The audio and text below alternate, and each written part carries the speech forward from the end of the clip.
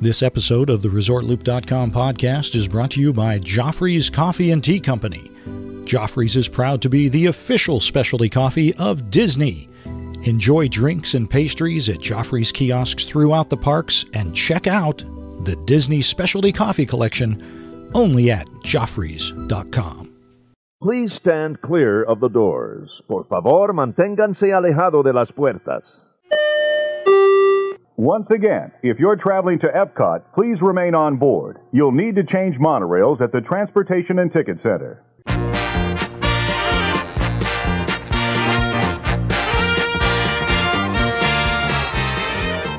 Hey, Looper Nation, thanks for joining us. I'm Tim Scott. I'm Bob Collar. This is ResortLoop.com. This is episode 252, and Bob, Tim, this is a show that's been stewing for like a week or so.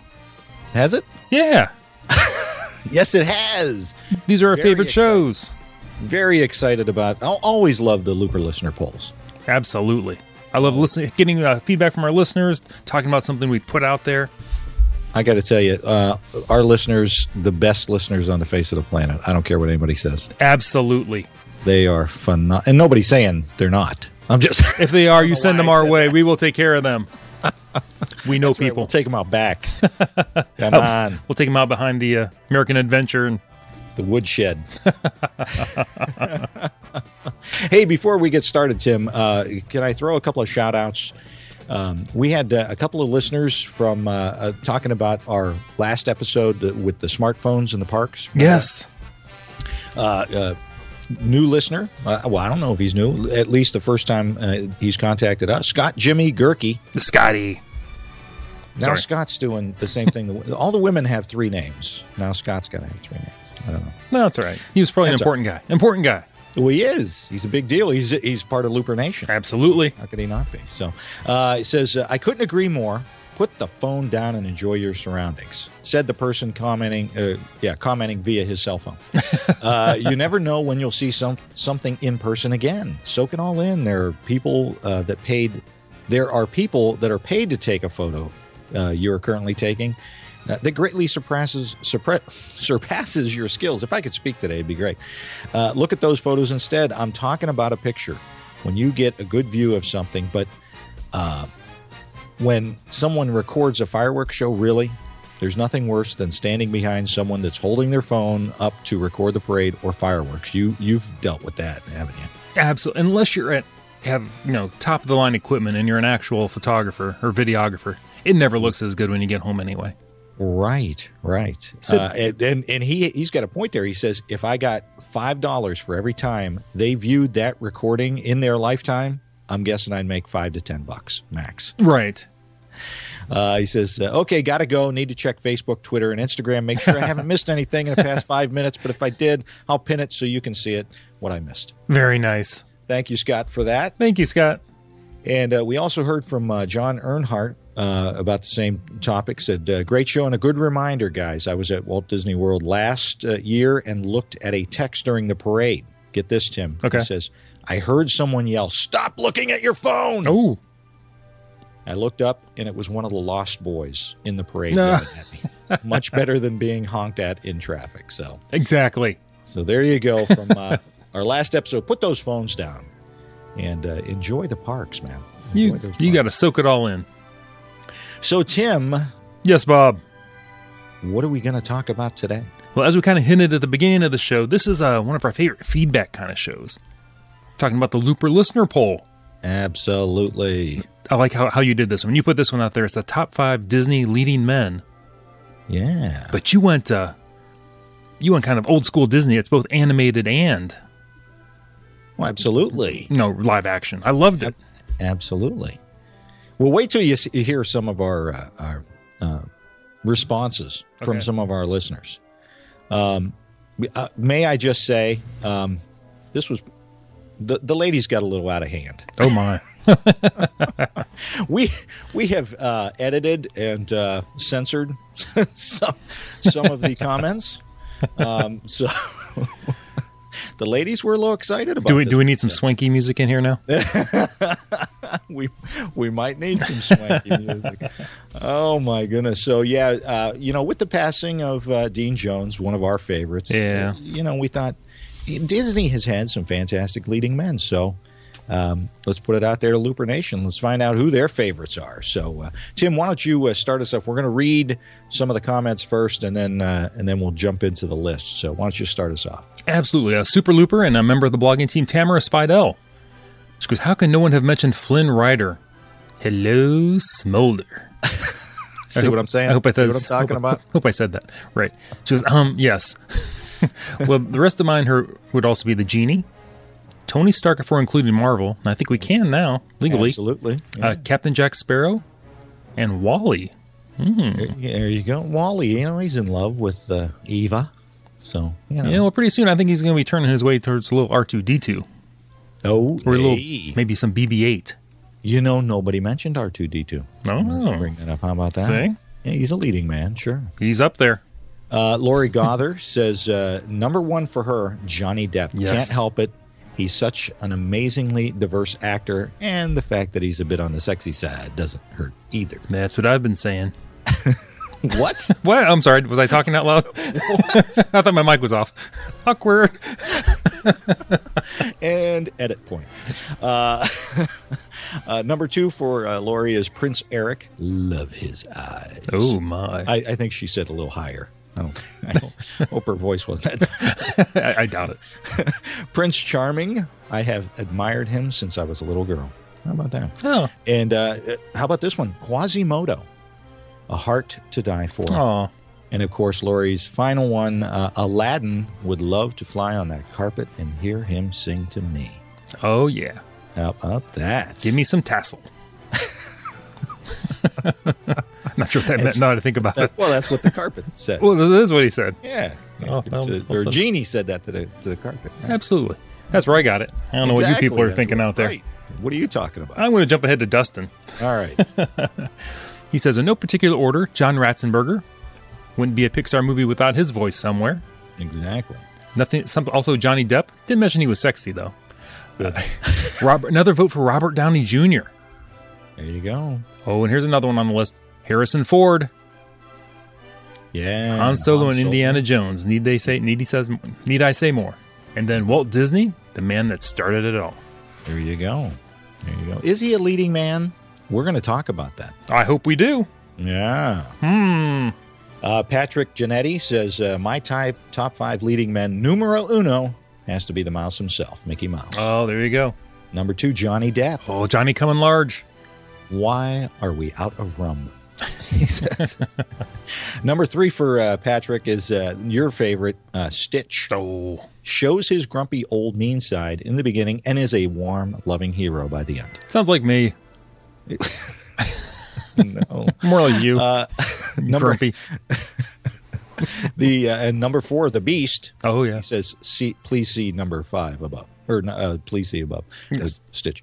Uh, number five for him, Robin Williams. Never had a friend like me. Oh, Robin Williams. Yes. Absolutely. Let's see. Brian uh, Kern, number five for him. Harrison Ford. He goes between uh, Han Solo and uh, Indiana Jones. He's got it all wrapped up. It's a little odd to think of him as a Disney leading man, but then uh, you can thank the corporate mergers for that. Yeah, there you go. Absolutely. Maximilian Schell. Look, if you can't get past the rest of the black hole, oh, who's he kidding? Oh, you know, I got to see that movie again. It's been a while. It has been a long time for me too. Uh, Mickey Mouse. After all, he was the leader of the club that's made for you and me. Absolutely. Spell it, Bob. M I C K E Y. M O U S E. There you go. It's almost like our looper line. There you go. Area code four one four. WDW. Loop. It's Number- like we practiced that. It is. Like we said that before.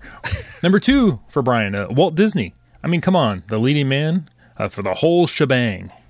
Yeah, absolutely. Let's see, and the Pride of Can- Can- Kankakee. Oh, it took me a second there. Fred Yeah. McMurray. No explanation needed.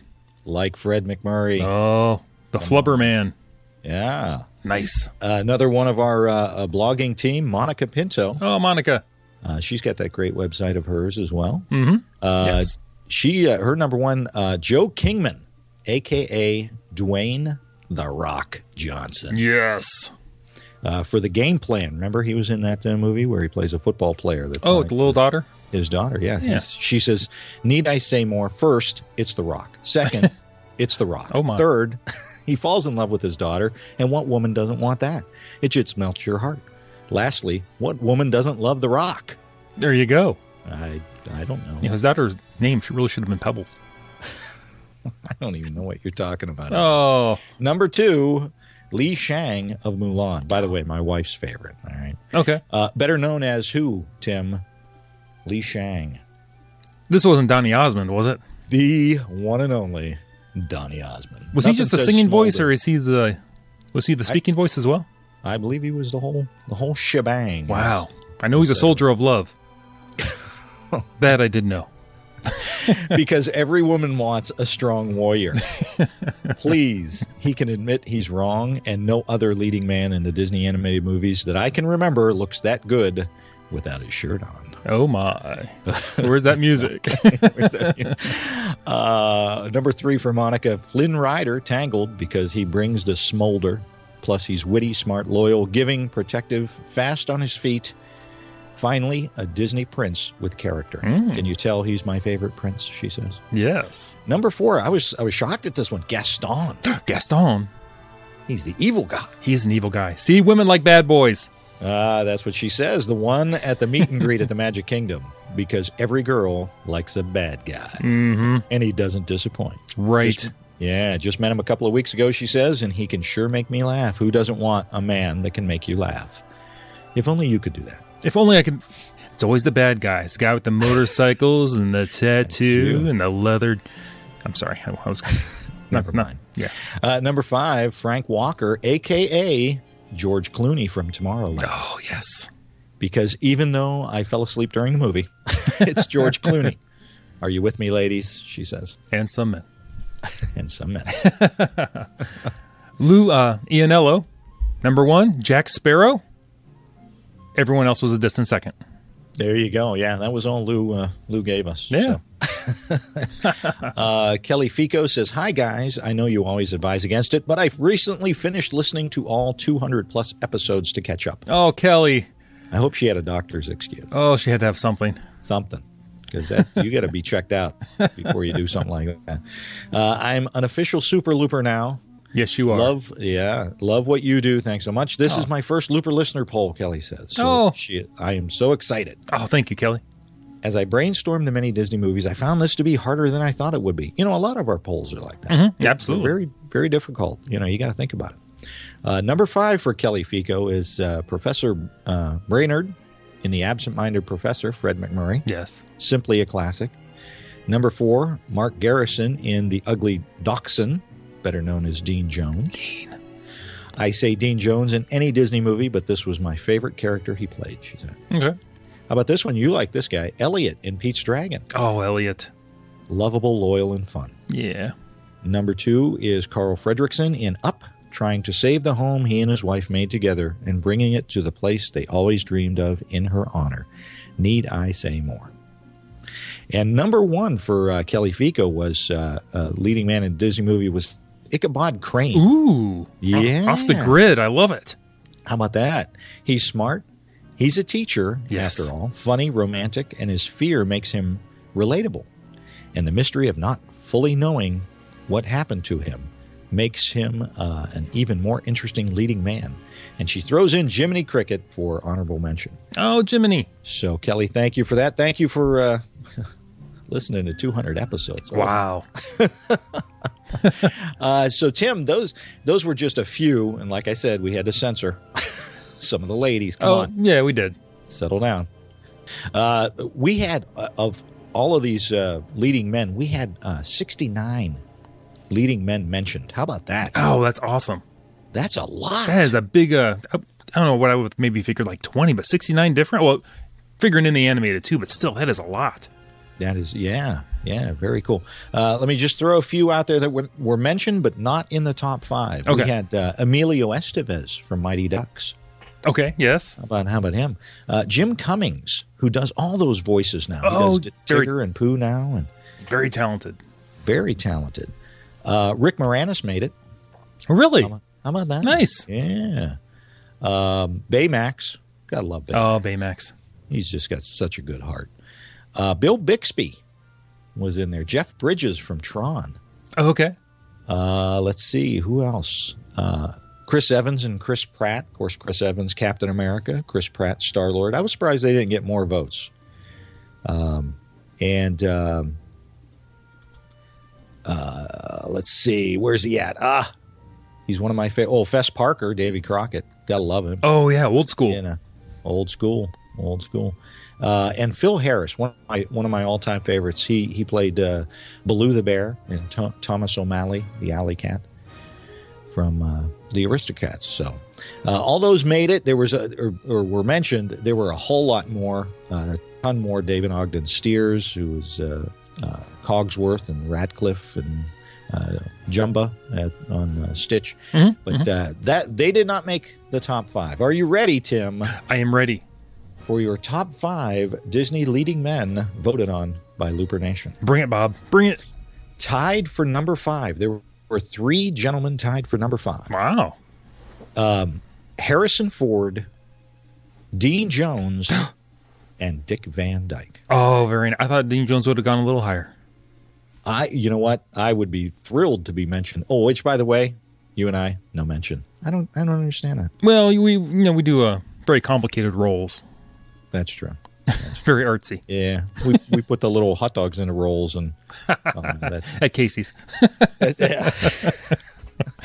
All right, go on. Moving on. Yes. Number four, tied for number four. There were three tied for number four as well. We had Tim Allen, Yes. T- Tom Hanks, Oh yeah. and one of my faves, Kurt Russell. Oh, all superstars in the Disney world. My goodness. I know. How about some of these? If you think about it, how about some of these names that I'm reading off here um, that that worked with Disney? These these are some big names. Oh uh, yeah, absolutely. I mean, Tim Allen. You forget about how, how many Disney movies he made with all the Santa Claus movies Oh, and being Buzz Lightyear. Oh my gosh. Uh, exactly. Absolutely. So, uh, coming in uh, tied for number three, just two guys tied for number 3 Uh, and really, this is kind of cool because they both played the exact same role. Oh, that's a good trivia question. How about that? T- tied for number three, Robin Williams and Fred MacMurray Oh, okay. both played in Flubber. Wow, How about that? that is incredible. That's pretty cool. That is. I thought that was cool. Number two in the top five Disney leading men, the very own, our favorite, Mickey Mouse. Oh, very good. Now, that brings me back to what I said. Is Walt Disney a leading man? He was the president of the company. He ran the whole the whole shooting match. Is he a leading man? I'm going to say no because I don't think he would consider himself a leading man. I'm going to say yes You would. You disgust me. because he was the original voice for Mickey Mouse. True, but I, I really think if you were to ask him, he would not consider himself a leading man. He was the no. He has to be because he he got Mickey started. If he hadn't, if it hadn't have been Walt's voice, what voice would it have been? It might not have. Mickey might not have been as successful. Yeah. Walt knew Mickey well enough. Well, that's, maybe it would have been Lillian's voice. Well, that's true. Yeah, I don't know. yeah. She did name him, so yeah. Anyway, uh, we'll leave that up to discussion on uh. Absolutely. The number one Disney leading man. You got your rum ready? Oh, you gave it away. Mr. Jack Sparrow, Johnny Depp. Wow. Yeah. How about that? Very nice. Hey, he's he's done a ton of work for Disney, ex- even not including the uh, Pirates Absolutely. franchise. I mean, honestly, wow. And and very much so uh, uh, a, a Disney legend now. Uh, most of these guys that I've mentioned, Disney legends. So um, you know that's uh, that's uh, Looper Nation really knows what they're talking about. Yeah, they do. That is uh, that is awesome. That is your top five Disney leading men voted on by Looper Nation. Thank you guys so much for particip- big participation. Like I said, uh, sixty nine people Wow. uh, mentioned uh, for uh, even Kermit the Frog. How about that? Very nice. Can I throw in an honorable mention? Yeah, absolutely. Because I was having this conversation with a friend of ours from work. You know who he mentioned who was totally off my radar? Who's that? Don Knotts. Oh, yeah, absolutely. Yeah. Yep. I mean, you got a lot for the Apple Dumpling Gang. Apple Dumpling Gang rides again. Hot Lead and Cold Feet. He was in uh, the Herbie. You know, goes to Monte Carlo. Right. Right. Yeah, Tim Conway, another Another great one. another great one. So I just no, I thought we should probably just mention those, even though they weren't in the voting. But sometimes you forget how much Don Knotts did with the Disney company. Absolutely. Yeah, yeah. Who would who would your favorite be, Tim? I'm going Dean Jones. I just looked at his body of work. Yeah. He did so many Disney movies that we just well, I just love today. That Yep. Yep. I'm. I'm gonna go. Uh, I'm gonna go really about the same time period as you, but I'm gonna go with Kurt Russell because uh, you know watching him as a computer that wore tennis shoes and all of that. It was just you know he. I really enjoyed watching Kurt Russell in the Disney films. So. Um, takes you back to your childhood a little bit more. oh, that was another good call. Absolutely. Yeah. So, um, Tim, Yes, Bob. that is all I've got. Oh, well, I'm really looking forward to this next Looper listener poll. So everybody, keep your eye out on our social media. It's going to be big. I love it. Going to be big. We've been working on this one for a while. Everybody, thanks for joining us. Uh, you've been listening to the Gateway to the Magic. I'm Tim Scott. You can find me on Twitter at Resort Loop Tim, on Facebook at Tim Resort Loop Scott, and the website resortloop.com. You had to think about that one for a while. Well, I said Gateway to the Magic too early, so usually I say that at the end. So I'll say it again. I'm Resort Loop Bob on the Twitter and Instagram. Don't forget our Facebook page. That's where we post a lot of these uh, Looper listener polls. Oh, and Tim. Yes. By the way, thank you for putting uh, the Looper listener poll out there um, to our email folks. Uh, we got a, a huge response. You know what? Email. In our survey that we're still going through and we're implementing things uh, solely from that, that was one of the big responses we got. They'd like to, some people don't want to use the Facebook or to use uh, Twitter. Yeah. So they'd really like to uh, contribute using uh, you know, email. So we threw the letter out there, and I think we got a lot of good feedback from that. we did. We did. So thank you very much for that, everybody. And uh, where else can they listen to? You can always find us on the Stitcher. Everybody, thanks for joining us. And once again, this is still the gateway to the magic. See you, everybody.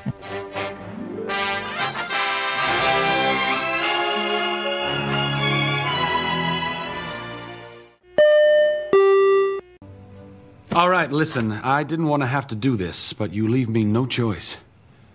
Here comes the smolder.